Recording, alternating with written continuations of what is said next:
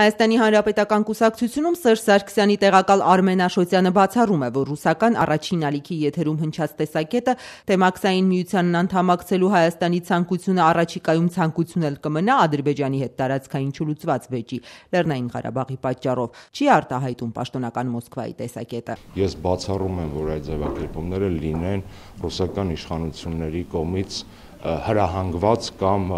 սատարվող ձևակերպումներ։ Ինչ վերաբերում է առաջին ալիքով եթեր հերարցակված ռեպորտաժին ու հատկապես դրան նախորդած տեսակետին, այն Աշոտյանին էլ է վրթովեցրել։ Ղարաբաղյան հակամարտության վերաբերյալ ձևակերպումները ուղղակի անընդունել են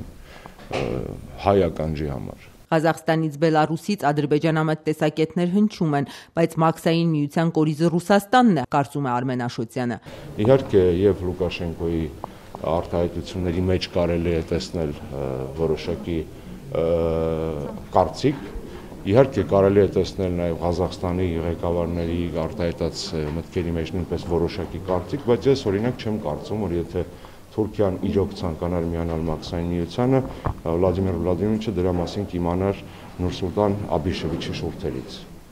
կարծիք կա, որ Մաքսային միությունն այդպես էլ չի կայանալու։ ՀՀԿ փոխնախագահի արձագանքը տեսակետին այսպիսին էր։ Ինչքան մշշոտ է Եվրամիության ապագան, նույնքան մշշոտ է Եվրասիական տնտեսական համագործակցության կայանալու խնդիրը, որովհետև սրանք պրոյեկտներ են դե։ Որքան մշշոտ է Չինաստանի տնտեսական վերելքի շահունակականությունը, որովհետև այլևս 7% է հնայաճը։ Նույնքան մշշոտ է ԱՄՆ-ի վերջ դեկրի ճգնաժամից վերջնական դուրս գալու հերանեկարը հատկապես կառավարության վերջի անջատումից հետո։ Եվրամիություն թե Մաքսային միություն։ Մեր արտաքին քաղաքական ճիշտ ուղեգծի ընտրության մասին հարցը Աշոտյանին նյարդայնացնում է։ Հայաստանի արտաքին քաղաքականությունը նրա կարծիքով դադարել է տափակ էկրան լինելուց։ Այլևս տարածական է, ինչպես ՀՀԿ փոխնախագահը բնորոշեց 3 դեմ։ Հայաստանը երբեք իր դեմքը չի շրջել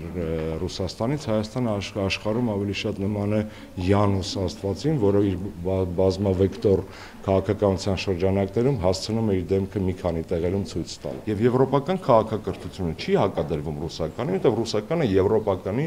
բաղկացուցիչ մասն է։ Իսկ ով ասաց, որ Ռուսաստանը Եվրոպա չէ։ Պնդմանն առնչվող մյուս բոլոր հիմնականում մշակութային փաստարկները սպառած Հրանուշ Հակոբյանը Սփյուռքի նախարարը։ Աշխարհագրությունից ծրտած դասերին անցավ։ Եվրոպան Ասիայից բաժանվում է Ուրալյան լեռնելով, Ուրար գետով, կամամ չի ինչով իջվածքով եւ այլ եւ այլ։ Այո, հիշում եմ Ինչի մասին է խոսքը։ Իսկ ով ասաց, որ Ռուսաստանը Եվրոպա չի։ Ինչու եք այդպես աղետ սարքել։ Հրանուշ Հակոբյանն ասում է Սփյուռքահայերի համար կարևորը Հայաստանի ազգային անվտանգությունն է։ Անկարևոր է Եվրամիության թե Ռուսաստանի հետ է Հայաստանն իր ապական պատկերացնում։ Մանավանդ որ բիզնեսմեն Սփյուռքահայերը շահել ունեն ԱՊՀ-ի 300 միլիոնանոց շուկան նրանց է սպասում։ 3.5 միլիոն հայ է այդ տարածքում ապրում։ Մենք շահագրգռված ենք, որ մեր հարաբերությունները փայլուն լինեն։